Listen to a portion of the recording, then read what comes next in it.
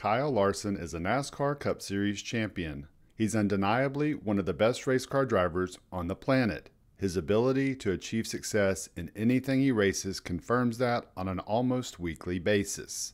His skill is respected amongst his peers. His voice should matter. This week, during an appearance on the Dale Jr. Download, the Hendrick Motorsports driver shared that voice and didn't sugarcoat his thoughts on the current hot topic of conversation following the race in Phoenix and the first look at the new short track rules package, adding horsepower to the cars. Coincidentally, his remarks came just hours after a top NASCAR official made the exact claim that Larson was calling out for being an excuse that the sanctioning body has used in the past.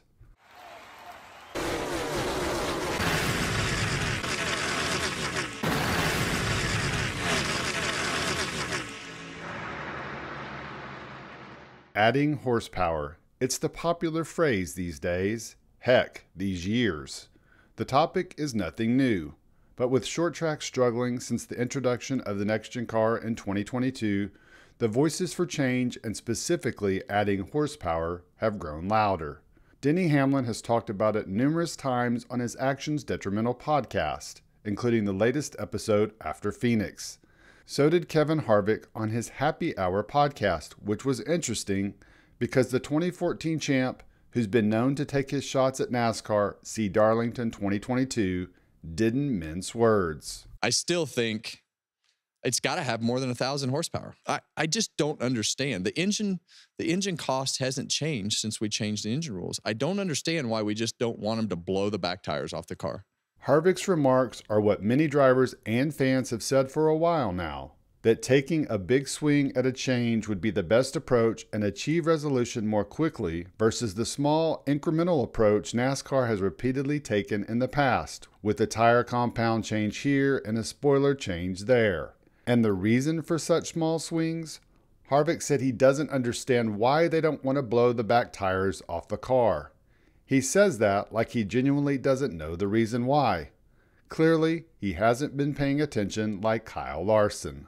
The HMS driver visited with Dale Jr. on the Dale Jr. download in a week delayed race winners interview following his victory at Las Vegas.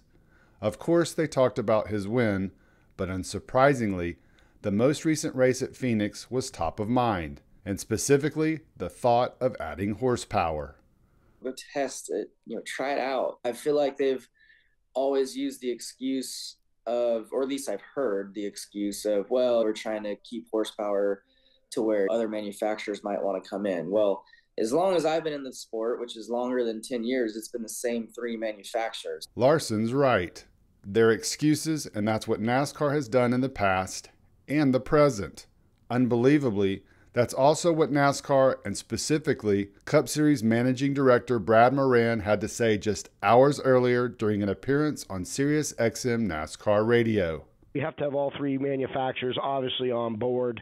Um, as soon as you open that up, there's you know there's going to be development, there's going to be reliability issues, and all of these you know again putting that cost back into the engine uh, engine builders. Uh, you know into the engine builders category where they certainly will develop and and you know and start start developing the engine. As soon as you open any horsepower up they're automatically going to do that. They're the best at it and that's what they that's what they do. And uh, you know and, the the number we're at seems to be where we want to be to try to you know get uh, potentially uh, new manufacturers interested. And if we start getting away from that number it can it can create problems in that area. Now to be fair, there have been rumors recently that Honda might be considering a move to NASCAR in as early as 2026. NASCAR President Steve Phelps talked about it earlier this year.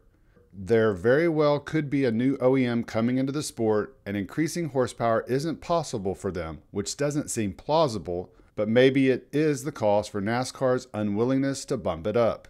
At a minimum, the new rumors are at least putting off the discussion of adding it until 2026 at the earliest. With that as the backdrop, it's easy to understand why Larson, the other drivers, and fans are frustrated with the repeated excuses from NASCAR on why horsepower can't be increased. What NASCAR should realize after all these years is even though top officials might dance around the subject and continue kicking the can down the road, they can rest assured the interest and, more importantly, the conversation about increased horsepower won't be going away anytime soon.